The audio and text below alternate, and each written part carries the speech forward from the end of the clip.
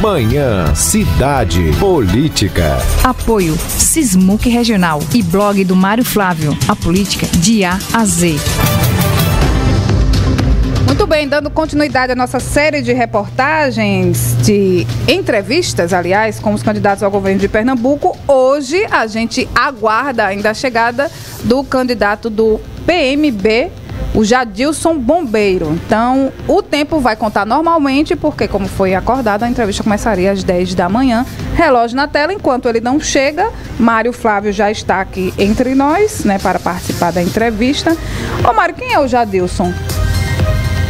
Renato é um, é servidor público, né, um bombeiro militar, e ele foi praticamente um dos últimos candidatos aí a, a ter o nome registrado para a chapa. Também ele tem uma vice, né, que foi trocada de última hora porque o, o tinha uma, um problema de dupla filiação. E aí assim, essa é aquela candidatura mais que chega para para é, propor, né, uma, uma questão voltada para os servidores públicos, né? A chapa dele tinha também. Sempre tem essas candidaturas, Sempre né, tem, né? Tem aquelas candidaturas mais à esquerda, tem aquelas candidaturas mais à esquerda e, e às vezes aparece um outro militar aí para disputar essa ele, a eleição. E o Jadilson, ele está aí tentando né, ser candidato e vai para a disputa eleitoral, uma disputa acirradíssima, né? Com nomes de peso na política, como eu há tempos não via aqui em Pernambuco. A gente via uma eleição aqui que era extremamente polarizada entre dois lados e agora né, tem essa história aí com quatro, cinco candidaturas aí que, que prometem dar uma balançada aí na eleição. Ô Mário, PMB, Partido da Mulher Brasileiro. Brasileira. E o candidato é um homem. É. É, a mas... gente sempre pergunta, a gente sempre faz essa, essa, essa comparação, não é, Mário? É, e é um homem. É, mas. Que deve, isso, que justamente. deve defender as pautas né, ligadas às políticas públicas para as mulheres. É o que a gente né, imagina. É, eu estava olhando o plano de governo do candidato há pouco, né? É um plano de governo muito voltado para propostas gerais. Assim, não tem Nada muito específico. muito isso, específico nada Uhum. é, para mulher, não. Na teoria deveria ser, né? Mas aí é, é um plano mais voltado, né? Para ele tem é dividido em eixos, né? Que são aí. A vice dele é a Fernanda Souto Maior, né? Ela que, como eu disse, ela entrou praticamente de última hora, né? Porque teve uma mudança no que diz respeito lá, a, o vice dele ia ser outro, mas acabou tendo um problema de dupla filiação partidária aí, aí a Fernanda, que é advogada, acabou entrando. Eu, eu acredito que essa chapa não tem senador, tá? porque é uma coisa curiosa dessa eleição. Você pode. Você não é obrigado a ter um nome para o Senado. Você é obrigado a ter o vice, mas o Senado não. Então, é uma chapa aí que chega, né, para apresentar uma proposta diferente para quem quer votar de uma maneira diferente. Aí é do Jadilson Bombeiro, que é do Partido da Mulher. Mas por falar em, em senador, algumas pessoas perguntam, né, por que não são dois? É, depende do, do ano eleitoral e, o- e o mandato é maior, né, do senador, né? É, o mandato do senador é de oito anos, né? E é um, um mandato que a cada eleição muda a regra de quantidade. Na eleição passada, por exemplo, eram dois senadores, foram eleitos Jabas Vasconcelos e Humberto Costa. Essa eleição é só um. Aí daqui a quatro anos serão dois senadores de novo. É, é um sistema eleitoral que foi implantado após a, a redemocratização. É, muita gente não concorda porque também cada senador indica dois suplentes. Né? e às vezes um suplente senador ele acaba sendo. Ele acaba virando senador sem ter tido um único voto. Né? Porque é a regra desse jeito. E, e já aconteceu o caso do, do segundo suplente assumir o Senado porque numa viagem né, de, dessas de campanha, né, de, de, de pós-eleição, uma viagem a trabalho, o senador e o primeiro suplente morreram no acidente. Isso foi no, no Amazonas, se eu não me engano. Jesus. E aí o segundo suplente, veja só, acabou virando é, senador. Senador. E foi uma coisa curiosa, eu conversava até o dia com o professor Marco Aurélio. Fo- eu- o, o candidato não tinha o segundo suplente. Ia passando na hora, o pedreiro dele estava fazendo a obra e ele. é, me dá teu nome aí rápido, identidade, que eu preciso de, de um. para completar uma Ele era chapa ali eleitoral. Pegou, foi, registrou e o cara acabou virando senador da República. Maravilhoso. Isso é Brasil, né? É. Que bom, vai passando para assim. todos. É, antigamente tinha uma rádio que fazia assim, o cara ia passando, ei, tu quer ser locutor, vem. Aí Mário. acontecia muito isso. Olha, ainda está repercutindo muito aqui, né? Para quem perdeu o início do Manhã Cidade, Mário Flávio já passou por aqui explicando o cancelamento do debate da Rádio Cidade. Mário, a gente pode reforçar mais uma vez os motivos. E aqui tem uma mensagem do Del, né? Bom dia, já estava preparado para assistir ao debate com a minha, minha turma. Agora com essa covardia fica difícil. Lembrem, lembrem-se daquela frase: somos todos iguais, porém uns se destacam pelo seu caráter e outros pela falta dele. Fica a dica. Eita, o Del tá arretado. É, né? Porque ah, eu acho que não era só o Del que estava nessa expectativa, né, Renata? O estado inteiro estava na expectativa, porque ia ser o primeiro confronto. Uma situação diferente, saindo da região metropolitana para ser aqui em Caruaru, né? O interior do estado com as atenções voltadas. E infelizmente não, não vai acontecer por desistência de dois candidatos. Nós tentamos viabilizar, mas é, uma candidatura achou viável não participar só com quatro nomes. E aí, vida que segue, né? A rádio ela é obrigada a chamar os candidatos com cinco deputados no, no Congresso. Agora os candidatos vêm se quiserem, né? quiserem. Ninguém está obrigando ninguém a vir, Lembrando a que participar. todos tinham confirmado já desde março, quando a gente começou aí as negociações, todos participando das reuniões, né, debatendo, ah, se- eh, ficando por dentro das regras que foram criadas exclusivamente para esse debate, para ser mais dinâmico, enfim, tá? Então fomos eh, avisados ontem à tarde, imediatamente emitimos o comunicado, mas a gente lembra que a cobertura das eleições 2002, 2022 da Rádio Cidade segue, tá? Firme e forte, é, do, do jeito Rádio Cidade de fazer, da nossa forma de, de, de falar, de se comunicar com vocês, enfim, que vocês já gostam. O Rodrigo Melo está aqui. Bom dia, Renata e Mário. Já tinha me programado para sexta-feira. Tinha comprado a pipoca e até ia largar mais cedo. Que pena que foi cancelado. É de doer o coração. Rodrigo Melo do bairro São Francisco. Que esse gosta muito de política, né? É, e, e outra coisa, os que não gostam de política, ou que não costumam acompanhar a política, iam também conhecer mais os candidatos, né? Como, como está acontecendo tem- com essas entrevistas. E tem um percentual, segundo as pesquisas, muito alto ainda, né, Mário? De, de gente que não sabe quem vai votar. É, 30%, né? Isso aí para governador. Quando você vai para senador, esse percentual ele chega a mais 50 de que não sabe ainda em quem votar, está indeciso. Então é muita gente ainda decidindo o voto, né? Que vai aí, aproveita esse momento das entrevistas, aproveita o momento das sabatinas, aproveita o momento dos debates para decidir, para conhecer melhor as propostas, o que pensam os candidatos e aquelas propostas que o pessoal acha que não vão ser cumpridas. Eu acho que, que tem duas é, é, questões da, da- do sistema eleitoral que precisam ser revistam, revistas com, urgente, com urgência. A primeira é a questão da- dessas pesquisas. Né? É uma coisa de doido isso. Cada instituto, tá, instituto trazer um número diferente. Não números aproximados, mas é, números que são muito distantes uns dos outros. né? Saíram três pesquisas essa semana. É, uma, por exemplo, vamos usar o Danilo Cabral como exemplo. Em uma pesquisa, o Danilo Cabral tem 12%, na, e na outra ele tem 4%, e na outra ele tem 11%. É muito distante, é 8% de São os uma locais, não, Mário, os locais, os recortes, enfim, você diz talvez é, é, regulamentar isso, né? Não, eu acho que não devia ter pesquisa no período eleitoral, não. Ó, começou a campanha, a última pesquisa será divulgada é, no dia da campanha. Pronto, Só dia as pesquisas 16. internas, né? Só pesquisa, aí o pessoal fazia à vontade. Agora, dia 16 de começar a campanha, proíbe pesquisa eleitoral. Porque viram uma massa de, man- de manobra de manipulação. Tem aquela teoria, ah, fulano só vota quem tá ganhando Que não quer perder o voto, que não né? quer perder o voto. Aí a pessoa vê a pesquisa, É vai e vota. É muito influenciado, né? É muito influenciável. Essa era uma questão. A outra, eh, Renata, eu acho que essa questão eh, dos debates é algo que precisa também eh, é ser revisto. É, não não obrigar ninguém a participar, mas é muito ruim quando você não participa de debate. E claro que eu acho que debate não decide mais a eleição, na minha opinião, tá? Não decide.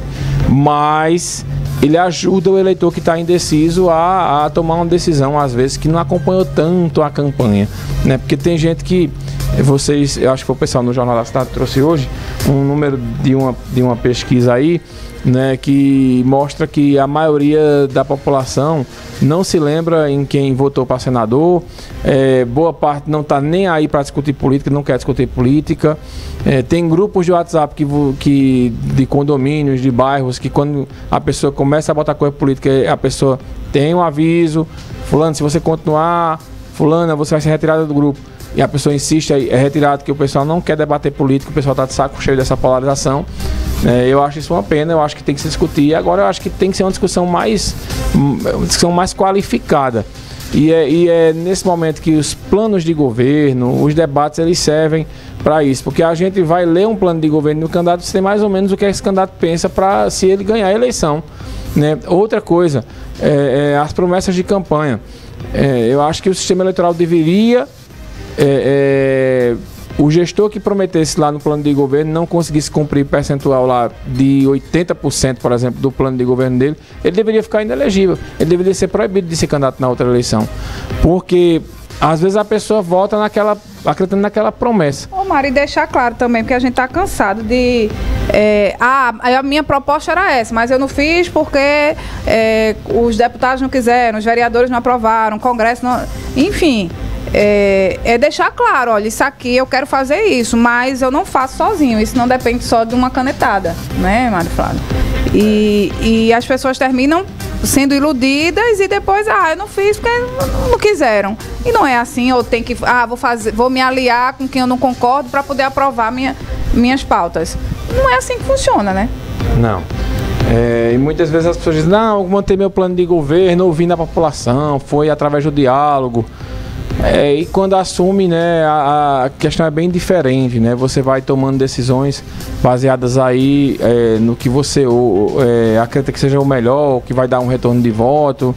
E a gente tem um alto índice ainda muito grande de, de pessoas que não têm acesso à água, pessoas que não têm acesso a, ao sistema de saneamento básico, pessoas que não têm acesso a a educação de qualidade e isso acaba comprometendo muito né, as, as periferias, principalmente das cidades que sofrem aí, né, com essa falta de estrutura.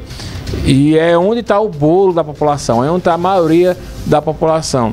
E, e, esse é o momento de você conhecer mesmo, né? Claro que é, quem está trabalhando, por exemplo, não vai acompanhar ao vivo em um, uma entrevista dessas como, como a gente está fazendo com os candidatos a governador. Mas é impressionante como, como você tem noção de como aumenta a quantidade de visualizações durante o dia.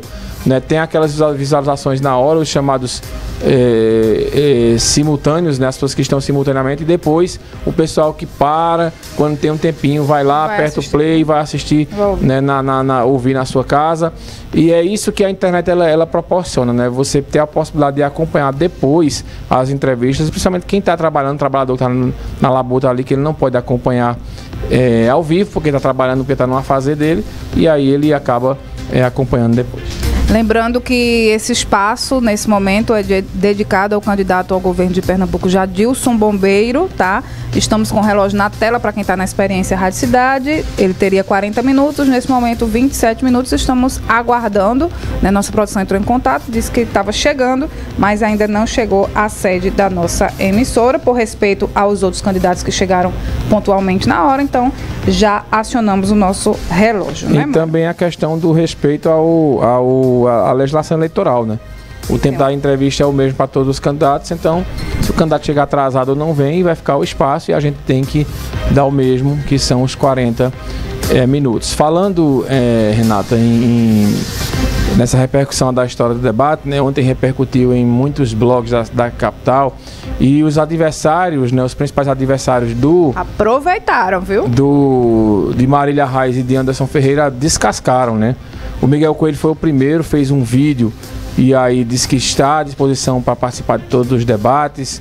Depois foi o Danilo Cabral, né, dando entrevista. Ele disse que, que criticou os candidatos. Por fim, a candidata Raquel Lira, ela também criticou e marcou uma live né, para o horário, o horário do, do debate. Hum. E uma coisa curiosa, né, que o Danilo Cabral comentou e o Miguel Coelho foi lá no Twitter dele. E chamou para brigar. Vamos debater nós dois, não sei o quê. É. É, ele ficou meio que no vácuo, né? Não houve uma, uma, Uma tréplica. uma resposta do Danilo resposta. Cabral, mas movimentou Foi o a dia. tréplica, né? Porque É. é, Danilo postou, Miguel deu a, a, a resposta, faltou a réplica. né? É. Então- Agora, lembrando, Mário Flávio, que Miguel não participou do, do debate lá quando ele era candidato à reeleição lá em Petrolina. Raquel Lira também não participou de debates quando foi candidato à reeleição aqui em Caruaru. E o Anderson Ferreira também não participou de debates quando foi candidato à reeleição lá em Jaboatão. Então, é uma. A gente não entende, no caso de Anderson, não participar. Né? Mas a Marília. é, lidera aí as pesquisas e isso tem sido uma tendência dos políticos, né, que lideram pesquisas, dar uma fugida de debate, né, Mário? É, e... Não é de hoje isso, tá? E nem é da época da eleição da presidência, da última eleição. Olha, já deixaram de ir a debates que estavam na frente. Fernando Henrique Cardoso, quando foi candidato à reeleição para presidente. O ex-presidente Lula, quando foi candidato à reeleição, ele não foi. É, Bolsonaro na eleição de 2018, né, quando ele levou aquela facada, e nele se recuperou, ele não quis a- a- ir participar Porque de as pessoas falavam que ele não participava, mas ele estava presente nas redes sociais, né? É. E aí tem. Em 2020, Miguel Coelho não, não foi lá em Petrolina, Raquel Lira não foi, inclusive, para o debate aqui na Rádio Cidade. O, o Anderson Ferreira também não foi lá em Jaboatão, então parece que ele não gosta mesmo de debater. Enfim, então assim, é, Marília Reis criticou o, o João Campos em 2020, né? Porque ele não foi. Mas é, é- são estratégias. E eu que eu conversava né, com, com. Ontem eu conversei com a candidata Raquel aqui após o. o- o- a, entrevista. a gente falou sobre isso. Disse, "Olha, vocês tomam estratégias e depois ficam nessa sinuca de bico, sem ter é, como justificar a ausência de um debate. Quando você teve a oportunidade de debater aí também, você não foi. Né? A, a gente entende estratégia eleitoral. Eu acho que, que essa história ah, vai desgastar a imagem de fulano ou Beltrano. Isso é o de menos, né? Porque o, o tempo é igual para todo mundo. Não vai ter como você. É, é claro que um candidato, a candidata que está na frente, ela vai ser o alvo do- dos, dos, do- dos outros. E claro também que o candidato do governo, por exemplo, Danilo Cabral, ele também vai ser alvo, né? Que, que é todo mundo debandou da Frente Popular, é todo mundo criticando muito. E, e ele vai defender o legado de uma gestão de 16 anos e que passa por problemas da chamada fadiga eh, eleitoral, fadiga política. Né? Mas é uma situação que, que todo mundo precisa entender. Eu conversava lá em 2020 né, com alguns assessores de Raquel, quando ela decidiu não vir ao debate. Eu dizia só, vocês estão montando uma estratégia agora que mais na frente pode acontecer em uma eleição o contrário. Eu já vi isso várias vezes na eleição de um candidato que está bem, desse- resolve não ir ao debate e na outra eleição ele não está tão bem, ou ele está ali no meio da. Quando ele. E não pode sambar muito dentro dessa justificativa, porque já cometeu o, o, né, o, mesmo, o mesmo comportamento. Justamente. Então, assim, é algo que, que, é, precisam avaliar, porque eleição tem a cada dois anos. Né? E aí você, você ficar é, remoendo, não tem como remoer muito, porque acaba né, você sendo apontado, como algumas pessoas apontaram, os gestores aí que criticaram a ausência dos debates, porque ele não foi. Agora, cada eleição é uma história. É, essa eleição eu acho muito acirrada. É, Marília já cancelou a vinda a sabatina da SIC também. É, acho que o caminho não é esse, de, de, de ficar se escondendo para não debater ou, ou não querendo participar de entrevistas para não estar respondendo isso ou aquilo. Já ser honesto, olha, a candidata não vai participar de debates nem de entrevista. Para não estar dizendo, ah, é porque é um evento, ah, é porque é uma agenda. É mais legal, é mais justo. Ó, o Vitor tá aqui, Mari. Bom dia a todos. Tem que lembrar que Raquel não foi aos debates na última eleição e não debateu os problemas da cidade. Aqui é o Vitor do bairro Santa Rosa. A gente lembrou aqui nem Raquel, nem Miguel, nem Anderson, Sim, né? mas não justifica a ausência dos outros agora, né? É, não justifica. Se você está tentando justificar a ausência de algum candidato que você tem simpatia, não justifica. Eu sinto muito, Não justifica. Vitor. Não pode mas- dizer, fulano, fulano É. pulou, eu vou pular também. E também, né? volta a lembrar, em 2020, Marília Reis criticou, chamou inclusive João, João Campos de frouxo, porque ele não foi debater, e criticou o Bolsonaro, porque ele não foi debater. Então a gente não pode ser a favor eh, de uma coisa quando convém. O bom foi que- ficou um candidato de, de- que tem né, a sim- simpatia por Lula e um candidato que tem simpatia por Bolsonaro. Não, não participaram, né? É, mais então ou ficou menos tudo certo. Representam, né? Nenhum pode falar do outro, né? É. Nenhum pode falar do outro. Ó, historicamente, a eleição proporcional fica em segundo plano, fazendo que as pessoas votem de forma aleatória. Um dos resultados é o Centrão dando das cartas na política brasileira há mais de 30 anos. O, o Rodrigo opina aqui, Mário. É, o Centrão, ele, ele é um bloco muito forte de, de deputados que quem está no poder, encosta. Né? Lembra muito, a gente conversava ontem, lembra muito aqui o Fernando Bezerra Coelho. É, é a cara de Centrão, Fernando Bezerra Coelho, senador, pai de Miguel Coelho. Fernando Bezerra Coelho foi ministro de Lula, foi ministro de Dilma, o filho dele foi ministro de Temer e ele foi líder do governo Bolsonaro. Ó, 20 E ali é a cara de Centrão. Nesse momento passaram 20 minutos, tá? De- dos 40 dedicados ao candidato Jadilson Bombeiro. A gente vai para o intervalo, para o relógio agora. Na volta, vamos ver se ele chega aqui ao estúdio da Rádio Cidade. Intervalo.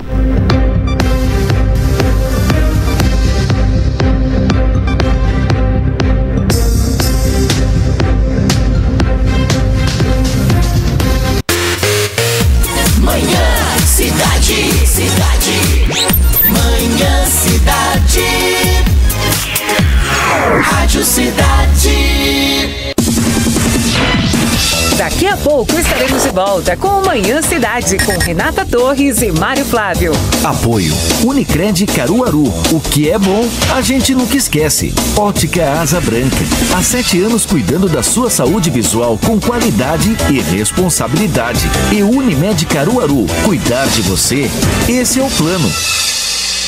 Viagem com segurança e conforto é com a Coletivo Turismo. Escolha o destino e a Coletivo leva você, a família e os amigos. Locação de ônibus, micro-ônibus e vans confortáveis, higienizados e seguros. Sempre com motoristas especializados para que sua viagem possa seguir com tranquilidade e segurança. Não corra risco. Viaje sempre com a Coletivo Turismo. Reservas no WhatsApp 98253 5040 ou pelo e-mail turismo@coletivos.com.br. Se deixe levar pela Coletivo Turismo.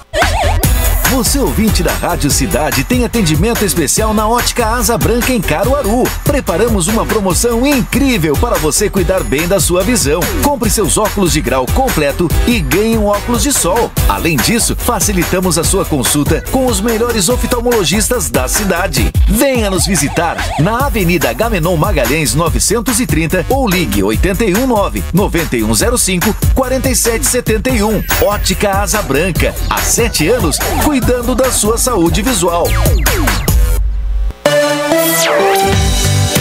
Todo mundo ouve, todo mundo vê. Rádio Cidade.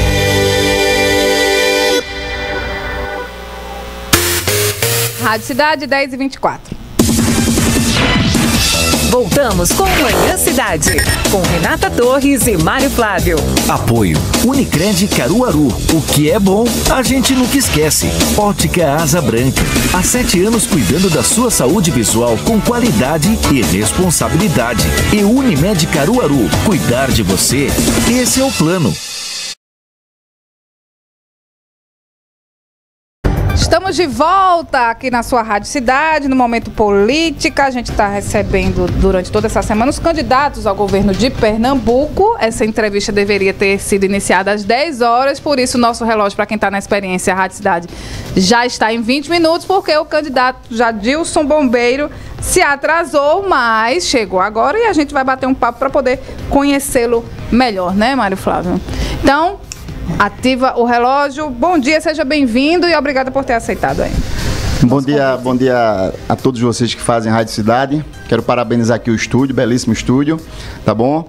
E dizer que nesses 20 minutos nós eh, falaremos coisas importantes para o povo de Caruaru e para todo o povo de Pernambuco. Vamos se apresentar? Para quem ainda não conhece?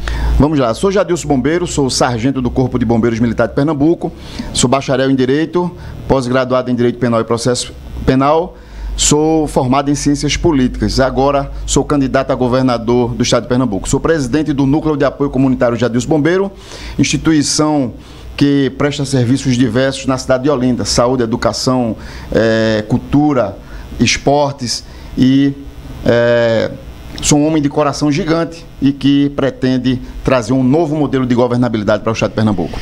Tem um trabalho Jadilson, social, hein? é, eu queria começar aqui a, mi- a minha pergunta prim- primeiro sobre a questão da segurança, né, que é um tema que é sempre recorrente aqui. Toda segunda-feira, domingo e segunda, a gente tem aqui caravanas que vêm para o polo de confecções, para Santa Cruz, Toritama, Caruaru, fazer compras e voltam e, e, e várias vezes existem assaltos, o pessoal é uma agonia. O- os carros são levados para a zona rural e o pessoal é chega a passar por tortura e por aí vai. Qual a sua ideia né, sobre o Pacto pela Vida? Muita gente também diz que o pacto precisa ser repactuado e como resolver essa situação da insegurança nos dias de feira aqui no Polo. Primeiro é importante explicar para todos os pernambucanos, aos caruaruenses e a todos que moram em municípios aqui do Agreste, que o Pacto pela Vida só foi apenas um aumento de efetivo na Força Policial Estadual, certo? O concurso que foi aberto dois- no ano de 2006, o governador do, o então governador do estado, Eduardo Campos, chamou todos os aprovados, não é uma praxe de- dos governadores ou daqueles que elaboram os concursos públicos. Então, com essa demanda de policiais, nós tivemos o aumento da ostensividade. Compreende? O, crime- o criminoso, quando ele pretende cometer algo, algum ilícito, ele e ele se dá de frente com um policial que está às ruas, provavelmente ele não vai cometer aquele ilícito naquele momento, naquele local, certo? Então, nós tivemos um aumento considerável de policiais nas ruas, com isso a demanda de criminalidade diminuiu naquela época do Pacto pela Vida. Nós temos um programa de governo para a segurança pública muito mais avançado, com um modelo de política moderna. Além do aumento de efetivo, porque não se faz segurança pública sem efetivo, certo? Além do aumento de efetivo, que isso é, um, é, o, é o beabá da segurança pública, nós temos um modelo dentro do nosso programa de governo, é um projeto que nós temos de socializar as pessoas.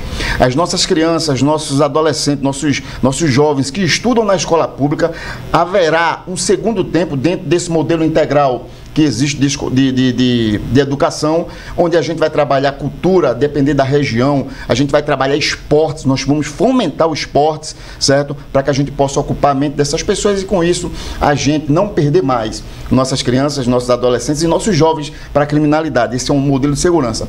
Respondendo a sua pergunta mais direta com relação ao polo texto aqui do Agreste. Ao que eu- combate em si, É, né? ao combate em si, a esse, a esse. Primeiro a gente aumenta a ostensividade da polícia, certo? Se não tem policiais, nós temos hoje um déficit, inclusive, de quase 10 mil homens na polícia militar.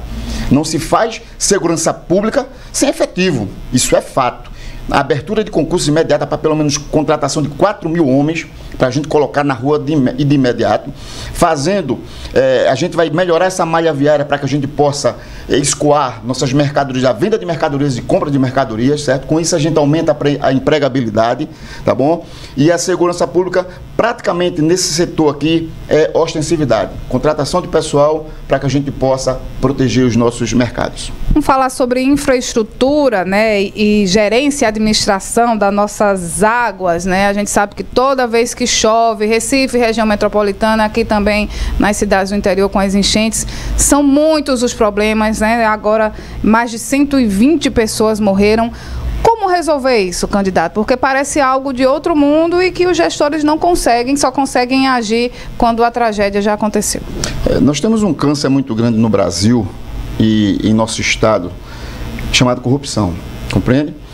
Mas um câncer maior que eu tenho identificado dentro dos meus estudos é a falta de coração, a falta de humanidade, a falta de respeito ao princípio constitucional da dignidade da pessoa humana, certo? Então, algumas coisas que acontecem diz respeito à chuva, por exemplo, catástrofe, a gente não pode misturar catástrofe com a falta da responsabilidade dos governantes em fazer suas obras.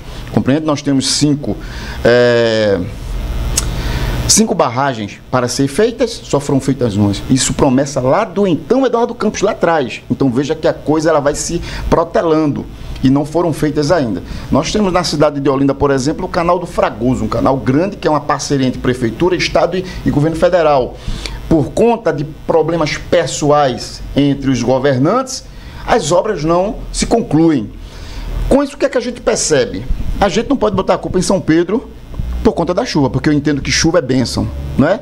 E perceba que a, a mesma chuva que cai em demanda em nosso estado, essa água não chega na torneira das pessoas. Então você vê que falta na Compesa competência, junto com falta de gerência, mas sobretudo falta de coração, falta de um governante paisão que se preocupe com a sua sede, que se preocupe com a sua fome, que se preocupe com a educação dos seus filhos, certo? Para que com isso nós possamos fazer um governo bom. É, isso, é esse modelo de governabilidade que não é cabível mais no estado de Pernambuco.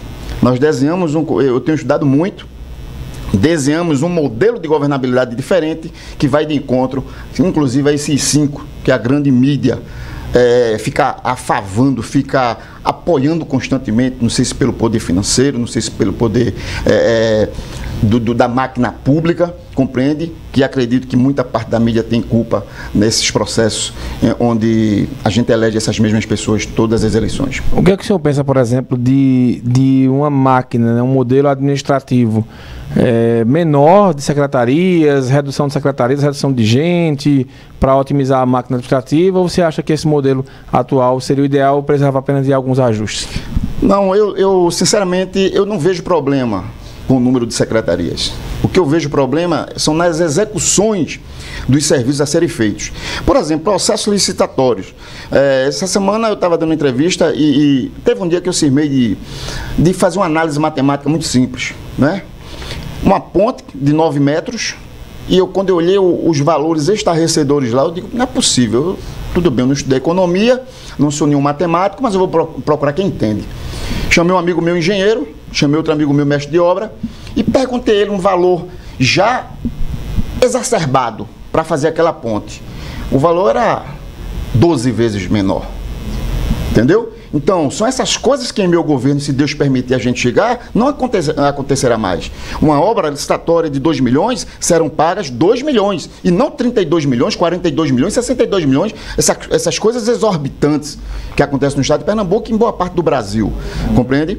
E isso, com isso, a gente ganha em receita, certo? E faz um trabalho administrativo sério para o estado de Pernambuco. acho que é isso que o Pernambuco está precisando. Candidato, a gente fala agora sobre estradas, né? A gente sabe que a situação é bem complicada da nossa malha. É, é difícil chegar a, a, muitos locais de Pernambuco sem, sem correr risco mesmo de acidentes, sem danificar os veículos. Enfim, a gente paga muitos impostos. A gente tem a BR-232 aí, que é duplicada, mas cheia de buracos frequentemente. A 104 não foi concluída. Né? A que vai para Garanhuns também, é, a 423, é, não saiu do, do papel, as promessas. O que é que o senhor pensa, caso seja eleito, em relação às estradas de Pernambuco? É, eu, eu, fui vítima hoje das estradas de Pernambuco, não é? A, a falha terrível que tem na 232 na saída de Recife para cá, em, em obras, é, é, é, obras que eles lançam nas proximidades de eleições, inclusive, certo? E houve todo esse atraso. Mas, enfim, é, a nossa malha viária, não sei se é do seu conhecimento, apenas menos de 30% dessa malha viária está na condição de boa ou ótima. Isso implica dizer que mais de 70% se encontra hoje na condição de ruim ou péssima. Enquanto o nosso governante não tiver uma visão atualizada de entender que a malha viária ela está responsável diretamente a nossa, o nível de empregabilidade do nosso povo, então a nossa malha viária vai continuar dessa mesma forma, certo? Nós precisamos, o caruaruense que está nos assistindo hoje, agora neste exato momento, que está nos ouvindo, né, pelas ondas sonoras do rádio, é importante colocar isso em sua mente para que a gente não, não coloque mais esses mesmos nomes. Eu abri uma pesquisa como cientista político para saber é, é, qual é a satisfação do pernambucano com relação à política pernambucana. Acredite, entramos na casa dos 80% de insatisfação com a política pernambucana e nós fomos descobrir quem são os atores responsáveis por essa insatisfação. São os mesmos nomes: os Coelhos, os Liras, os Campos, os Arrases. Entendeu? Então, sempre eles, há décadas esse pessoal está no poder e não mudou a vida da, dos pernambucanos, tampouco mudou a história do nosso Pernambuco. Essa malha viária é prioridade para a gente, porque a gente acredita que, melhorando a malha viária, nós, o escoamento de, de mercadorias, a compra de mercadorias, nós seremos bem vistos, bem falados lá fora. Quantas e quantas vezes nós dissemos, rapaz, quando a gente chega na Paraíba, a estrada é outra. Entendeu? Então a gente precisa resgatar aquele Pernambuco grande, gigante, que já foi o sexto colocado do Brasil. É, a situação é complicada mesmo. O que é que o senhor pensa de valorização dos profissionais de segurança pública, questão de plano de cargos e carreiras? Eu dei uma, eu dei uma lida no seu plano de governo, o senhor fala em, em melhorar carreiras e, e logística de trabalho. Como seria isso no contexto é, é, geral? No contexto geral, primeiramente, não só para a segurança pública, mas para todas as, a, as nuances administrativas do, do Estado. Para a segurança pública, respondendo a sua pergunta, a gente, primeiro, valorização de pessoal. Certo? A valorização de pessoal, outrora, no modelo político antigo, só se falava em salário.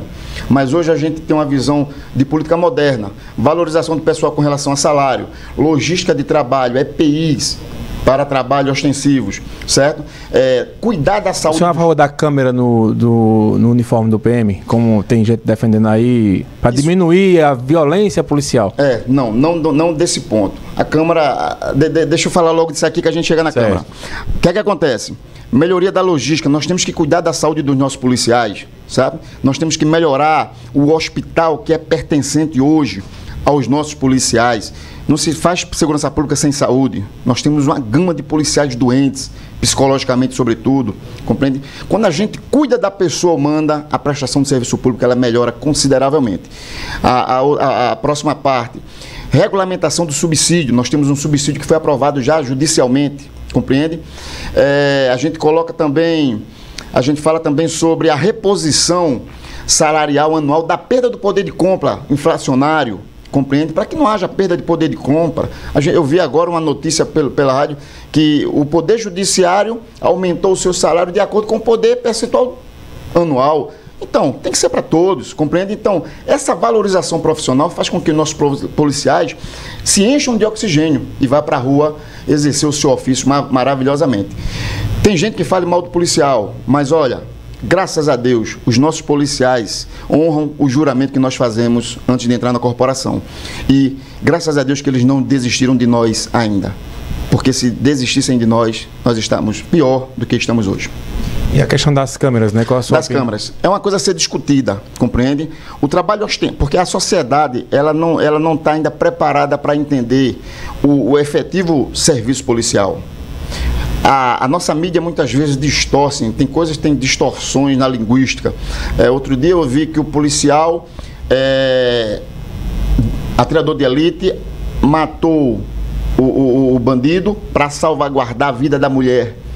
A notícia vinha assim: policial assassino mata homem que tinha sonhos em ser um grande empresário.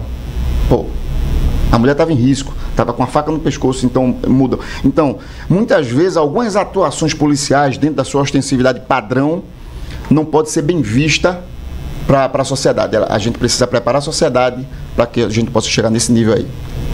Muito bem. Muito bem. O senhor promete, né, no seu plano de, go- de governo, desburocratizar as aberturas das pequenas, médias e grandes empresas para que, com isso, possamos abrir o mercado de trabalho de maneira a garantir os empregos formais no estado de Pernambuco.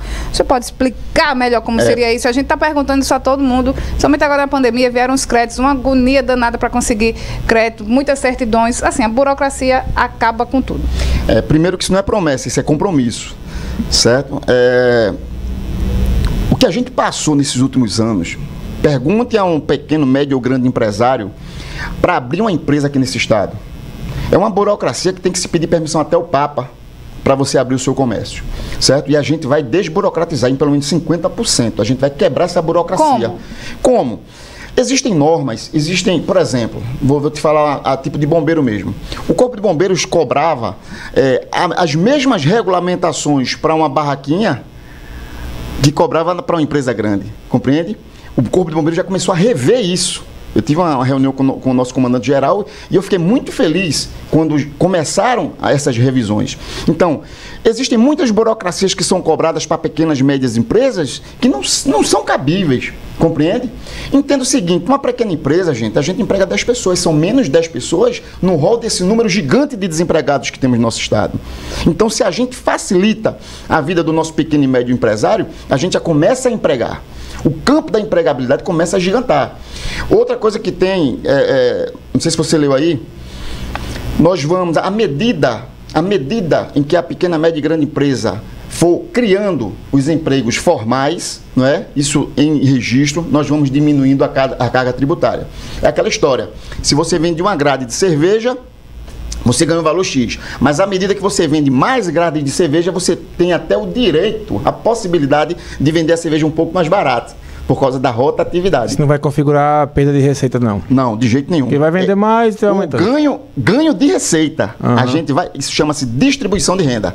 Você vai encontrar candidatos que entendem que distribuição de renda é tirar do que tem mais para dar o que tem menos. Isso, não é, isso é perca de receita, isso é perca na economia. Isso é ganho, isso é distribuição de renda. Distribuição de renda para gente que estuda política moderna é fazer com que o grande cresça e com que o pequeno tenha suas oportunidades. Tá entendendo? Quando a gente pega.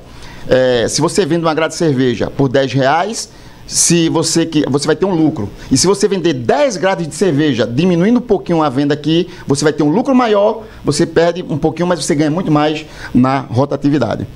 O, o senhor, enquanto servidor público, né, o senhor pensa numa, numa reforma eh, tributária né, para que possa eh, melhorar a situação? E também o que é que o senhor pensa da Previdência? Né? Porque o que a gente vê é o seguinte: eh, toda vez que se fala, fala em reforma da Previdência, é um Deus nos acuda e, e tem muito protesto, o servidor diz que vai perder direito e por aí vai. Reformas tem que haver diversas no Brasil, certo? Isso é um campo muito mais de âmbito federal, né? Mas como servidor público, como político, a gente tem que acreditar nessas reformas. E todas as reformas têm que ser para melhora. Por exemplo, eh, existem alguns critérios para debates. Coisas absurdas, né? Coisas absurdas. Eh, o- o- os cargos majoritários são em menor número. A população tem o direito de conhecer os di- eh, as propostas de cada candidato. E são suprimidas, não é? São suprimidas o direito. A nossa arma é a voz. Eu tenho certeza que nós, se partíssemos de um campo zero, todos sem recursos, sem ninguém se utilizar da máquina pública, nenhum pernambucano votaria nesse que aí estão. Eu tenho certeza que Jadilson Bombeiro estaria disparado na frente, porque nós somos, eh, pela nossa seriedade, pelo modelo da gente apresentar nossas propostas e pela, e pela nossa historicidade. Tem, tem candidatos aí que são candidatos a- a- estão candidatos agora a governador, que se você olhar a vida dela pregressa, você não vota numa pessoa dessa, pô que defende drogas, que defende coisas exorbitantes. Em pleno século XX, a gente está vendo isso aí claramente. Nunca foi fácil escolher hoje um candidato. Nunca foi tão fácil. Compreende? Então, a gente sofre muito com, esse, com esses modelos. Tem que haver reforma política, tem que haver reforma pre- previdenciária, tem, tem- tem que haver reforma de todas as sortes. A gente acredita em um mundo melhor.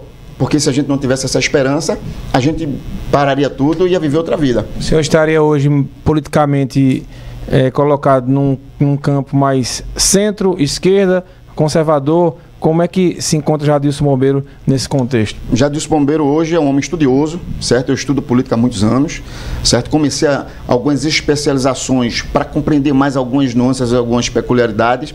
Jadilson Bombeiro hoje é Jadilson Bombeiro. Essa coisa de centro-esquerda, alguém pseudamente muito inteligente conduziu as pessoas a beberem água no pote que eles quiserem. Compreende? Eu, eu respondi uma pergunta ontem na, ontem na Rádio Jornal, inclusive. É, é, você é Lula, você é Bolsonaro? Eu disse, eu sou Jadilson Bombeiro, eu estudei para isso.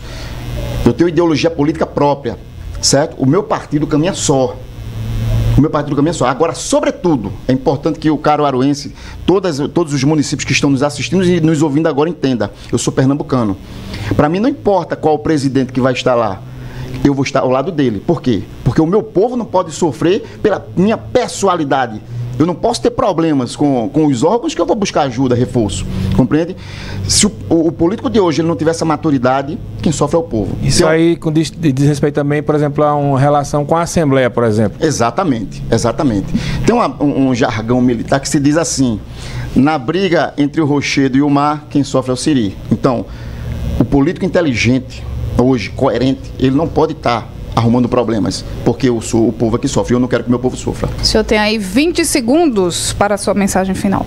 Tá bom, pessoal, caruaruenses, pernambucanos, eh, em 1710 surgiu um homem lá na cidade de Olinda chamado Bernardo Vieira de Melo e ele deu o grito de independência. Nós somos independentes juntos porque começou lá a independência do Brasil. Hoje, Olinda levanta mais um guerreiro, Jadilson Bombeiro, onde a gente dá, quer dar mais um grito de independência para que a gente possa se livrar dessas oligarquias familiares políticas. o senhor é de Olinda? Olindense. Muito bem, a gente sempre passa carnaval lá.